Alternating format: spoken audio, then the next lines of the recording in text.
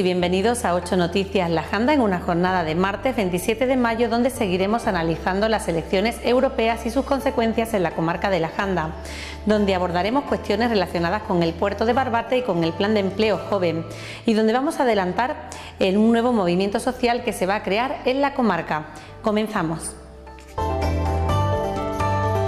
Todavía hoy martes los resultados de las elecciones europeas son noticia, concretamente en la agenda por las declaraciones del alcalde de Conil, Juan Bermúdez, de Izquierda Unida, que valoraba de forma muy positiva la cita con las urnas en su localidad, un lugar donde la abstención ha superado el 67%.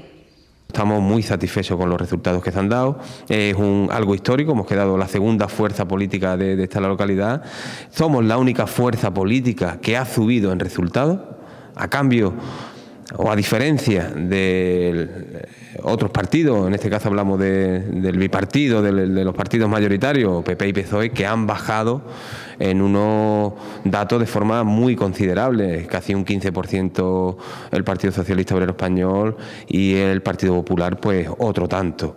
Esta dinámica no se había dado nunca en la historia en este pueblo y por lo tanto no podemos estar más que satisfechos por esta eh, subida importante de, de Izquierda Unida. Juan Bermúdez también ha tenido palabras para la formación sorpresa en estos comicios, Podemos, un partido político que comparte muchas ideas defendidas por Izquierda Unida, según apuntaba el regidor conileño. Hombre, la verdad que no deja de ser sorprendente que un partido político con cuatro meses de vida obtenga los resultados que ha obtenido tanto a nivel nacional como a nivel eh, local. Eh, es una fuerza de, de izquierda. Eh, que muchas de, de, las tesis que plantea este grupo político pues coincide prácticamente con, Izquierda Unida. Incluso mucha gente eh, de, los, dirigentes eh, vienen de las juventudes comunistas y de esta fuerza eh, política. Y nosotros, hombre, alegrarnos de que una fuerza de izquierda suba. Eso siempre va a ser así. Eh, todo lo que sea el apoyo a, la izquierda, a partidos de, representación con ideología de izquierda, pues lo, lo valoramos como, como positivo. Y positivo también que en Europa esta fuerza política se, se integra dentro de la izquierda plural. Por lo tanto, vamos a a trabajar eh, codo con codo con esta fuerza política para intentar eh, cambiar de, de, algún modo las políticas que vienen desde Europa y que nos afectan tan directamente a, a los ciudadanos y ciudadanas. La Consejería de Fomento y Vivienda de la Junta de Andalucía, a través de la Agencia Pública de Puertos, ha sacado a información pública el proyecto básico para la edificación de una nave industrial de construcción y reparación de embarcaciones en el puerto de Barbate. Se trata de una iniciativa de la empresa Astilleros Los Salineros. Se trata de una concesión administrativa por 10 años que generará nuevos puestos de trabajo en el municipio de Barbate, tanto durante la edificación como en el desarrollo de esta actividad industrial.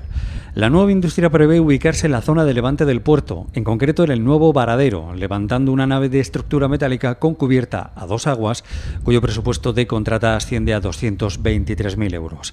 La concesión que se pretende otorgar comprende una superficie de ocupación de 435 metros cuadrados, distribuidos en 350 metros para el área de montaje, 60 de la zona polivalente, 39 para almacén de elementos ligeros, 20 para oficinas en planta alta y 12 metros cuadrados para aseos y vestuarios.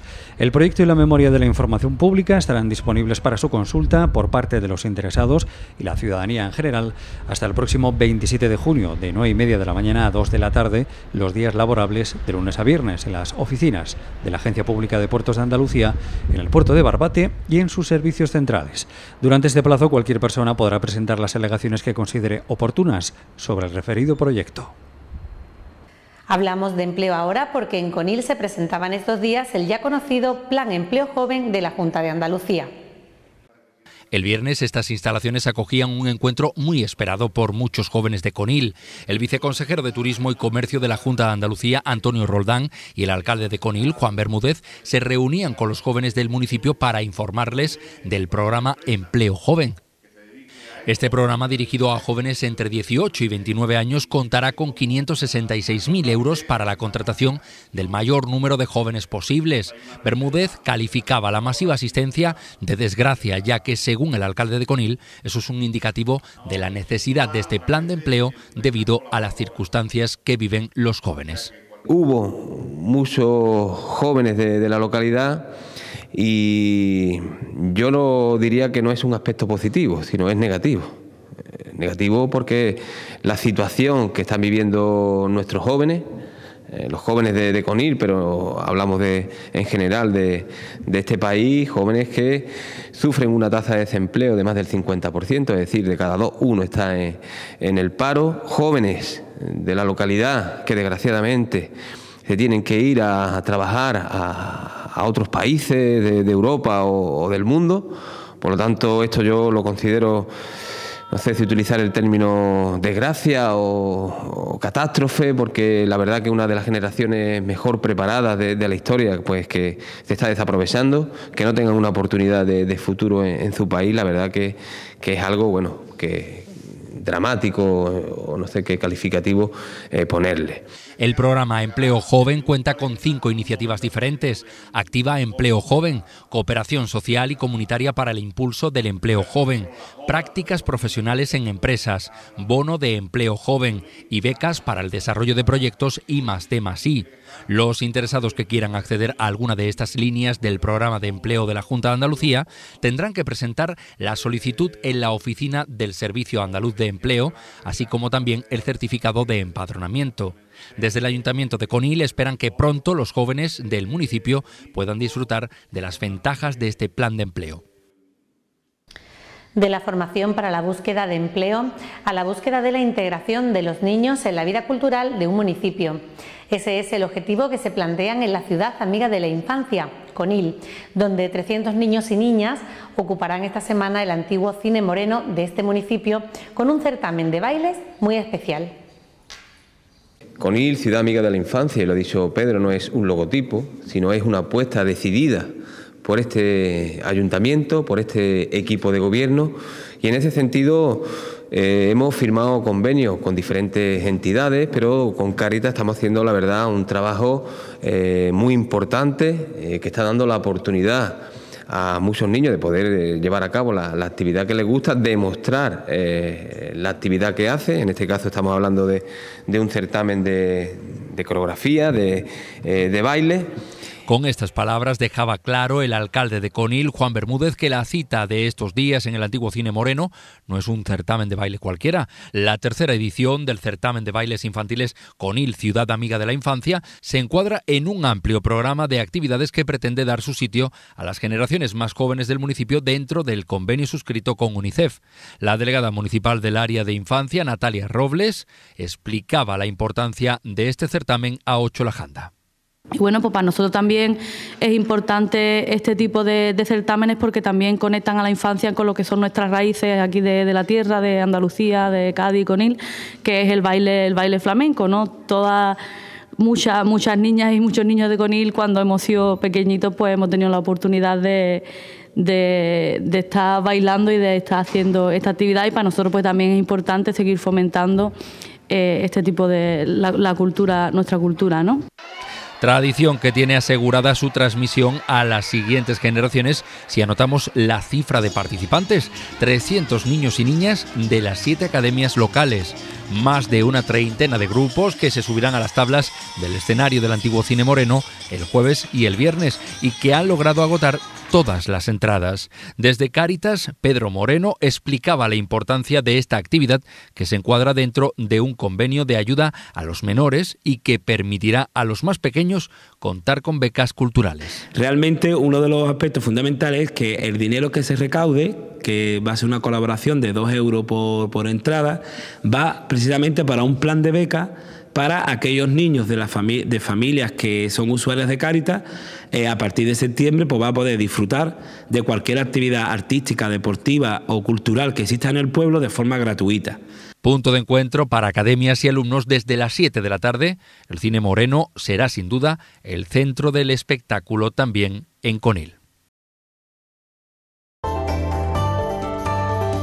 Un grupo de vecinos de las localidades de Barbate, Conil, Medina Sidonia y Vejer han convocado para el próximo día 30 una asamblea con el objetivo de construir una plataforma ciudadana que presione para que el Centro Hospitalario de Alta Resolución de Vejer abra sus puertas lo antes posible. Uno de los promotores de esta plataforma ha explicado que el motivo de crearla es que están convencidos de que sin esta movilización ciudadana el centro hospitalario seguirá siendo solo una obra en medio del campo. Los ciudadanos entienden que es el momento de tener ya el hospital abierto, un hospital con urgencias abiertas 24 horas, con quirófanos y médicos, donde las familias y los mayores dispongan de unos servicios de diagnósticos modernos y de todas las especialidades. Por ello, a la asamblea que estos han convocado para el próximo día 30 a las 7 en el recinto ferial de la Noria de Vejer, invitan a todos los vecinos de la Janda, a los alcaldes de la zona y a la delegada territorial de Igualdad, Salud y Políticas Sociales, Miriam Alconchel. El alcalde de Vejer, José Ortiz, y la teniente alcalde concejala de Bienestar Social, Vicenta Morillo, junto a varios responsables de la Caixa en Vejer y en la zona de la Janda, se han reunido esta mañana con los representantes de las asociaciones vejeriegas Abadis, la Asociación de Familiares de Enfermos de Alzheimer y Cáritas. El objetivo es la entrega de una subvención otorgada a cada una de estas entidades para que puedan desarrollar determinadas actividades que faciliten el desarrollo de la labor social. El alcalde de Vejer ha agradecido la colaboración de la entidad resaltando la labor encomiable que realizan cada una de estas asociaciones. Por su parte, el responsable de la zona de la Caixa declaraba que la obra social está encantada de poder aportar su granito de arena en la mejora de las actuaciones de cada una de estas asociaciones. Les contamos ahora que el Centro de Apoyo al Desarrollo Empresarial de Andalucía, más conocido como CADE, continúa con su amplio calendario de cursos que tendrán lugar este mes de mayo. Dos municipios de la comarca de la Janda, Vejer y Barbate, van a desarrollar dos talleres de formación gratuita en aspectos esenciales de la gestión empresarial y de la maduración de proyectos emprendedores. El nuevo curso que acogerá el CADE de Barbate los días 29 y 30 de mayo va a permitir conocer los factores para triunfar con tu empresa y van a plantear si está relacionado el éxito con la felicidad. La cita será de 10 de la mañana a 2 de la tarde. Les contamos ahora que el fenómeno mundial TED va a llegar hasta Cádiz. Se trata de un evento anual donde algunos de los pensadores y emprendedores más importantes del mundo comparten lo que más les apasiona. TED significa tecnología, entretenimiento y diseño, tres grandes áreas que en conjunto están dando forma al futuro. El equipo promotor de TED Baluarte se ha propuesto traer precisamente ese espíritu TED a Cádiz. Concretamente está previsto que este viernes 30 de mayo se reúnan en el Castillo de Santa Catalina intelectuales y artistas llegados de, entre otros sitios, de diferentes puntos de Andalucía, de la Bahía y de la comarca de la Janda. Uno de los objetivos de este encuentro, en palabras de Jesús Martínez, responsable de Relaciones Institucionales, será inspirar ideas y emociones que merezcan la pena ser expandidas, siempre desde un amplio espectro de disciplinas y artes, gente extraordinaria contando cosas extraordinarias. Entre los ponentes estarán el chef Ángel León, el deportista y creador del proyecto Donando Vidas Eduardo Rangel, el consultor en nuevas tecnologías Jonathan Chacón, el comunicador Ramón Barrera, el psicólogo y escritor José Manuel Aguilar, el astrofísico y experto en microsatélites Rafael Guzmán, Javier Plazas y Juan Carlos Santos, analistas de tendencias, y Ángeles Navarro, arqueóloga del equipo de excavación del yacimiento fenicio en el cine cómico. Además, habrá actuaciones. Entre otras artistas estarán presentes Las Mónicas o Paula Gómez. El equipo organizador cuenta con la experiencia de organizar diferentes workshops y actividades relacionadas con la difusión de ideas de sostenibilidad social y medioambiental. Este tipo de eventos en su día lo llevaron a cabo personalidades tan interesantes como Bill Clinton, Al Gore, Bill Gates o Paul Simon. Ahora la idea se desarrollará en Cádiz, aunque el mundo, como indican sus organizadores, está invitado a disfrutarlo. Llegan ahora los deportes de la mano de nuestra compañera Desire Cifuentes.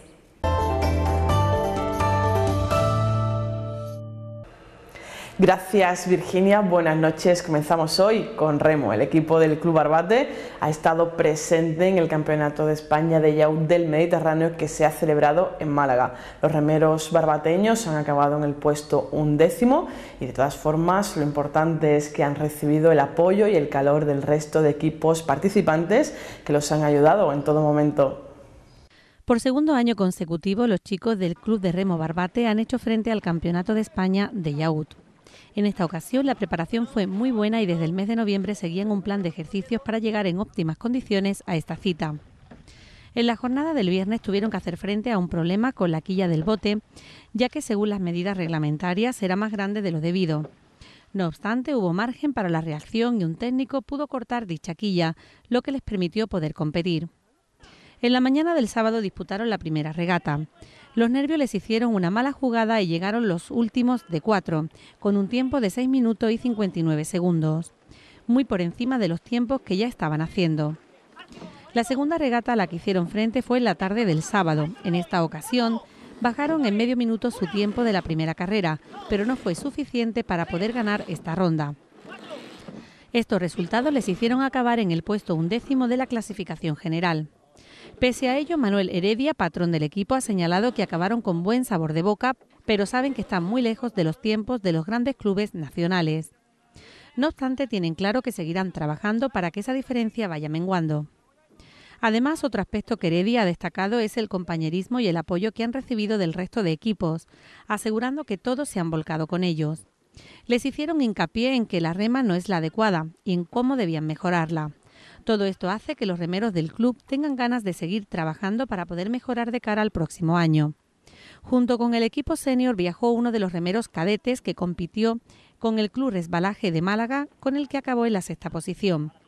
De cara al próximo verano, el Club de Remo Barbate tiene previsto organizar el 15 de agosto el torneo Diputación de Cádiz. Además, podría ser el responsable de otros eventos, pero eso aún está por determinar. Además, el Club de Remo prepara ya sus actividades de verano. Continuamos en Vejer porque ya se ha disputado la primera jornada de la Liga Local de Fútbol 7 de verano. En esta primera jornada de la Liga Local de Verano de Fútbol 7 de Vejer se han dado los siguientes resultados. Pachá el Ratito se ha impuesto a Topa Algo por 5 a 4. El Parque ha perdido frente a los Titis de Cádiz por 2 a 7 y Miami City ha vencido a To por meterla por 3 a 1. Además, la Bombonera le ha ganado a Coconuts por 3 a 1 y Tajarina se ha impuesto a Calpisa por 4 a 3. Estos resultados hacen que el primer líder del campeonato sean los Titis de Cádiz, empatado a tres puntos con Pachal Ratito, Tajarinas, Miami City y La Bombonera. Además, el primer máximo goleador es José Ramón Brenes de los Titis de Cádiz, con un total de cuatro tantos en su casillero. En cuanto a la jornada 2, cabe destacar que el primer encuentro se está disputando en estos momentos y lo está protagonizando Calpisa y La Bombonera. Ya en la jornada de mañana, a las ocho y media de la tarde, se enfrentarán República San Miguel y Tajarinas, mientras que a las nueve y media lo harán los Titis de Cádiz y Topa Algo. Los dos encuentros que se jugarán el jueves serán los que disputen a las ocho y media Top por Meterla y El Parque y a las nueve y media Miami City y Coconuts. Pachal Ratito será el equipo que descanse esta semana. En cuanto a la Liga Local de Baloncesto de Conil, estos han sido los resultados de la jornada 13 del campeonato. Sanix ha conseguido una nueva victoria esta semana, ya que se ha impuesto a 96 por 61 a 19. En el segundo encuentro de esta jornada 13 de la Liga Local de Baloncesto de Conil, Atmósfera Sport Conil no ha podido con Manográficas Basket y ha perdido por 23 a 46. En el tercer y último choque, la victoria ha sido para Glovers Torpes, que ha vencido a tú mismo por 55 a 44. Y hasta aquí nuestro tiempo de deportes de hoy en Ocho La Janda. Buenas noches. Muchas gracias, Desiree Cifuentes, y conocemos ahora el tiempo que hará en la comarca de la Janda en las próximas horas.